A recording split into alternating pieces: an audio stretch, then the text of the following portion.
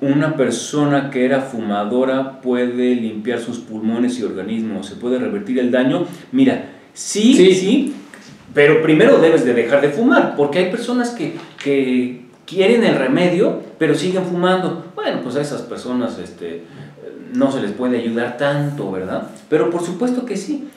Te recomiendo, bueno, esa, esa, una persona, esa persona que, que fume, que, que fumó, que vaya a algún parque, algún bosque, algún, eh, en algún, siempre en las ciudades hay un lugar más verde, ¿no? Entonces, aquí en, aquí en Guadalajara tenemos el bosque Colomos, por ejemplo, o este, la primavera, un lugar donde hay muchos árboles y no hay contaminación de, de industria, de, este, de carros. Entonces, respirar aire, aire puro y respirar profundo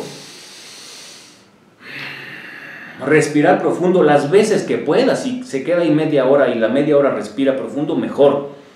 Eh, también consumir mucho rábano. El rábano va limpiando mucho bronquios y pulmones. Cuando sea eh, época de, de, mango, consuma mucho mango.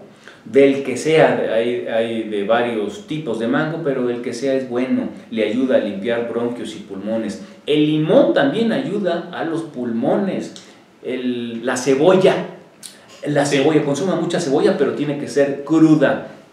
A la, a la salsa póngale muchas, mucha cebolla, a la ensalada póngale cebolla, a la sopa póngale cebolla, a los frijoles póngale cebolla y si es morada, mucho mejor.